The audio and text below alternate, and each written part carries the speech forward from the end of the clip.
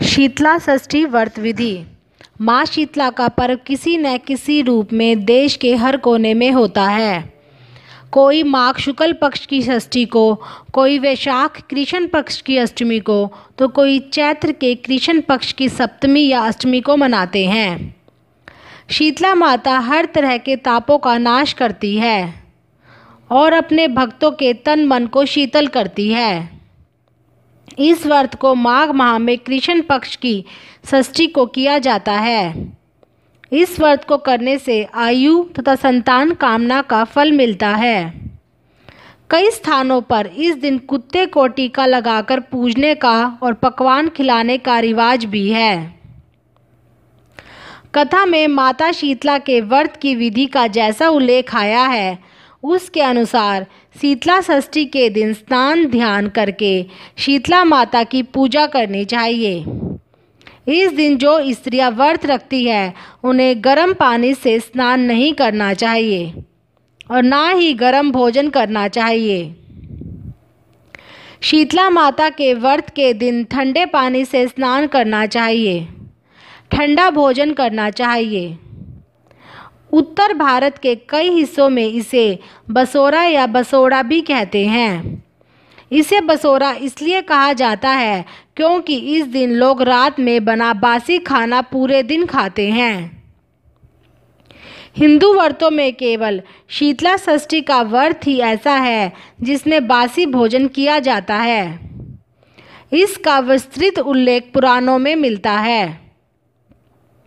शीतला माता का मंदिर वट वृक्ष के समीप ही होता है। शीतला माता के पूजन के बाद वट का पूजन भी किया जाता है। शीतला षष्ठी के दिन लोग चूल्हा नहीं जलाते, बल्कि चूल्हे की पूजा करते हैं। इस दिन भगवान को भी रात में बना बासी खाना प्रसाद रूप में अर्पण किया जाता है। इस तिथि को घर के दरवाजे खिड़कियों एवं चूल्हे को दही, चावल और बेसन से बनी हुई बड़ी मिलाकर भेंट किया जाता है। बंगाल राज्य में इसका ज़्यादा महत्व माना गया है।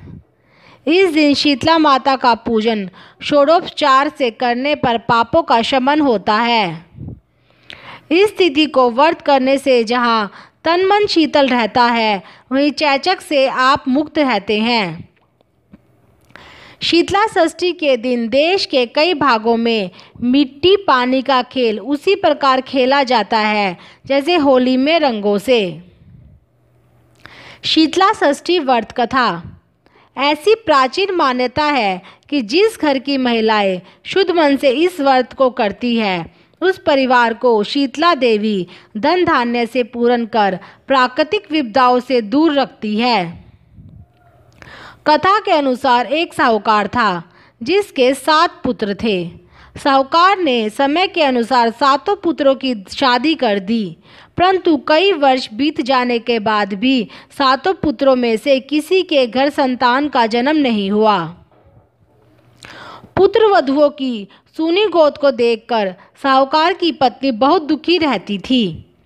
एक दिन एक वृद्ध स्त्री साहूकार के घर से गुजर रही थी।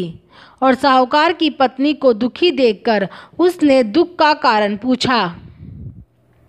साहूकार की पत्नी ने उस वृद्ध स्त्री को अपने मन की बात बताई। इस पर उस वृद्ध स्त्री ने कहा कि आप अपने सातों पुत्र वधुओं के साथ मिलकर शीतला माता का व्रत और पूजन कीजिए। इससे माता शीतला प्रसन्न हो जाएगी और आपकी सातों पुत्र वधुओं की गोधरी हो जाएगी। साहूकार की पत्नी जब माघ मास की शुक्ल पक्ष की षष्ठी तिथि को अपनी सातों बहुओं के साथ मिलकर उस वृद्धा के बताए विधान के अनुसार माता शीतला का व्रत किया। माता शीतला की कृपा से सातों बहुएँ गर्भवती हुई और समय आने पर सभी के सुंदर पुत्र हुए। समय का चक्र चलता रहा और माघ शुक्ल षष्ठी तिथि आई। लेकिन किसी को माता शीतला के व्रत का ध्यान नहीं आया। इस दिन सास और बहुओं ने गर्म पानी से स्नान किया और गर्मा गर्म भोजन किया।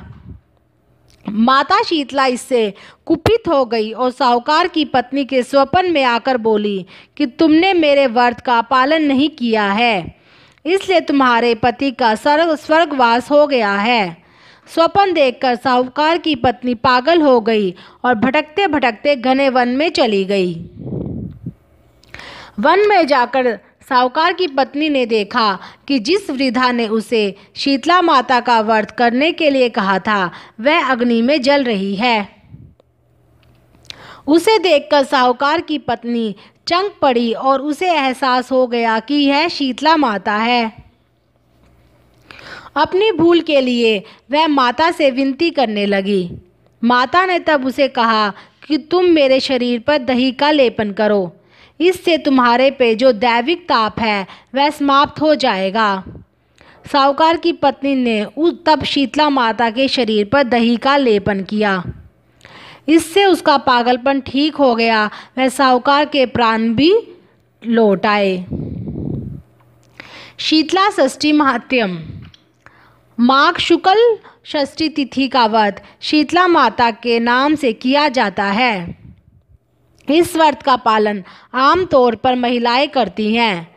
शीतला माता के व्रत का महात्म है कि जो भी व्रत रखकर इसकी पूजा करता है, वह दैहिक और दैविक ताप से मुक्त हो जाता है। यह व्रत पुत्र प्रदान करने वाला एवं सौभाग्य देने वाला है। पुत्र की प्राप्ति रखने वाली महिलाओं के लिए यह व्रत उत्तम कहा गया है। शीतला माता की आरती। ओम जय शीतला माता, मैया जय शीतला माता।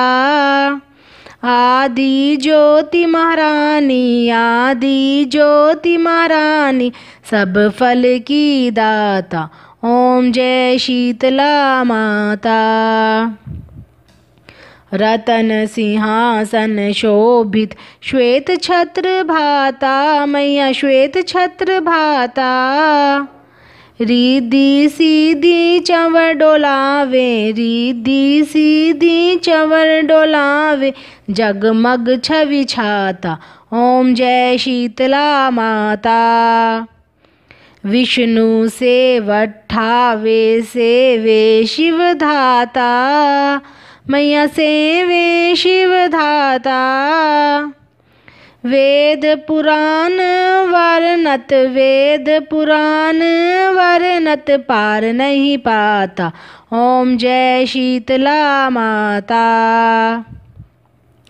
इंद्र मृदंग बजावत, चंद्र विना हाता। मैया चंद्र विना हाता। सूरज ताल बजावे, सूरज ताल बजावे, नारद मुनि गाता, ओम जय शीतला माता।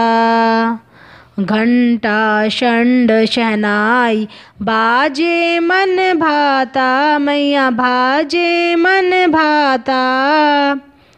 करे भक्त जन आरती, करे भक्त जन आरती। लखी लखी हर शाता, ओम जय शीतला माता। ब्रह्म रूप वरदानी, तू ही तीन काल ज्ञाता, मैया तू ही तीन काल ज्ञाता। भक्तन को सुख देती, भक्तन को सुख देती। मातु पिता भ्राता ओम जय शीतला माता। जो जन ध्यान लगावे, प्रेम शक्ति पाता, मैया प्रेम शक्ति पाता। सकल मनोरथ पावे, सकल मनोरथ पावे। भवनिधि तर जाता, ओम जय शीतला माता। रोगों से जो पीड़ित, कोई शरण तेरी आता, कोई शरण तेरी आता। कोड़ी पावे निर्मल, कोड़ी पावे निर्वल, काया अंध नेत्र पाता। ओम जय शीतला माता। बांझ पुत्र को पावे दृद कट जाता, मैया दृद कट जाता। ताको भजे जो नाही, ताको भजे जो नाही, सिर धुनि पछताता, ओम जय शीतला माता। शीतल करती जन की तू ही है, जगत्राता मैया तू ही है, जगत्राता। उपती वाला विनाशन उपती वाला विनाशन तू सबकी माता। ओम जय शीतला माता। दास नारायण कर जोरी माता, मैया कर जोरी माता। भक्ति आपनी दीजे, भक्ति आपनी दीजे, और न कुछ माता। ओम जय शीतला माता। ओम जय शीतला माता, मैया जय शीतला माता। आदि ज्योति महारानी, आदि ज्योति महारानी, सब फल की दाता। ओम जय शीतला माता।